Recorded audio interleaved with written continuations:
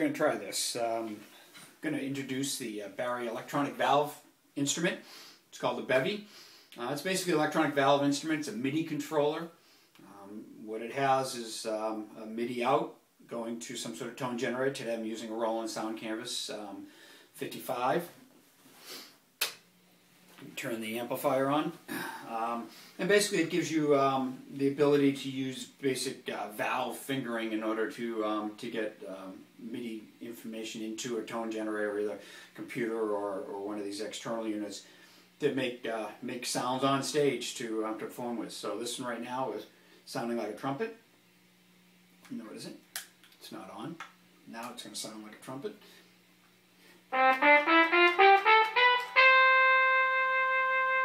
So it's that easy to, um, to, to plug it in and get turn it on. It's inst pretty much instant on. It takes three seconds to boot up.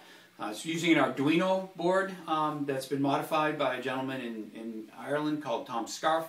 It's called a Midiuno board, so it's it's a, a programming. It's in C, language of C or subset of C, and then uh, and then that gives you that MIDI out capabilities. So um, so it's got extra valves here because you're not buzzing into the mouthpiece. You're just getting pressure into the mouthpiece. And um, so you need to have all the buttons to get that full octave. So when I hit G, which is another open, I need to push down a, button to give me that G, and then I need to push a different button down to get the C, and likewise on the high G and high C. But I've also put two more buttons on the bottom that give me a full six octave range. So if I go all the way down to the bottom,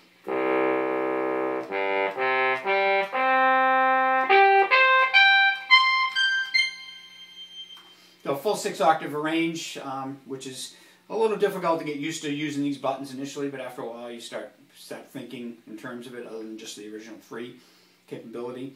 Um, it also has the capabilities, I decided that it would be nice to have chord capabilities, so these two buttons back here on my other thumb allow me, if I hit a high C, I can then hit a C chord, or a C minor chord, or also, as I was thinking, is that it would be nice to have the capabilities to put horn lines together, um, which typically would be like a trumpet on top. A third down would be a some sort of tenor sax, and then an octave down would be a bari sax. And so that's called a horn line with both buttons down. So the regular just trumpet.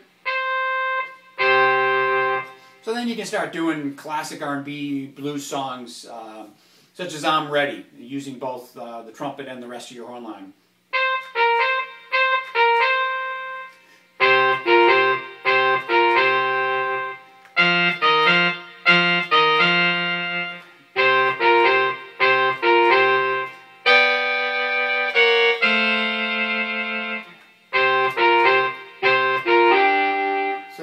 I'm using full horn line capabilities of the, of the BEVI there. Uh, other capabilities are is that most tone generators and most MIDI controllers have 16 full channels. So I'm using the first three channels for trumpet, tenor sax, and then bari sax. I can then program channel 2 now to be a sax, trumpet, and a trombone.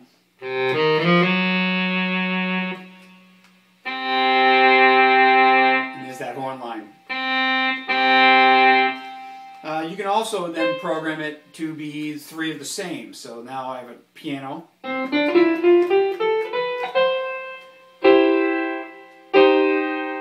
And get the full chord of the, of the piano. What's really fun is it now opens up other instruments that you can add to anything you want to do. If whatever you're playing, whatever music you're playing along with, you can add an instrument that will actually modify the sound or actually make the song song sound song a lot better by adding the instrument that needs. So I, I also have a violin programmed in.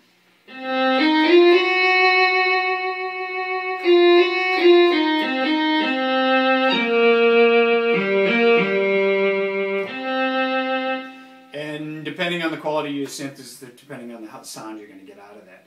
Um, also put in full um, transposition capabilities. So if I want to switch from C, which is what it boots up into, since it's typically reading concert music, um, if I push this button down, hit the function key, now it's beeping in C. And if I hit the first button, that's B. So B, E, A, D, G, C. And then if I go um, this button and this function button, then I'm in B, E, A, D, G, C, all flats. And then finally both button down and the function button get me back to C or F. So it's circle of fifths, so you, you can memorize it pretty quickly if you know the circle of fifths. So now I'm in B. Or if I want to jump back to C, now I'm in C. So very easy to switch transposition. All 12 keys are, are available. Uh, it's battery powered. Got a little 9 volt battery compartment here that you just quickly pop out and replace. It's got a um, panic button on it, um, like all MIDI controllers. Sometimes you get stuck on notes. Rarely do I get stuck notes, but um, it's nice to have that there to shut all notes off.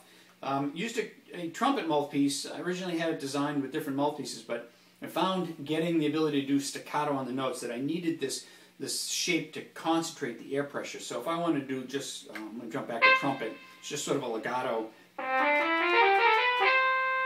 like that, or if I want to be staccato.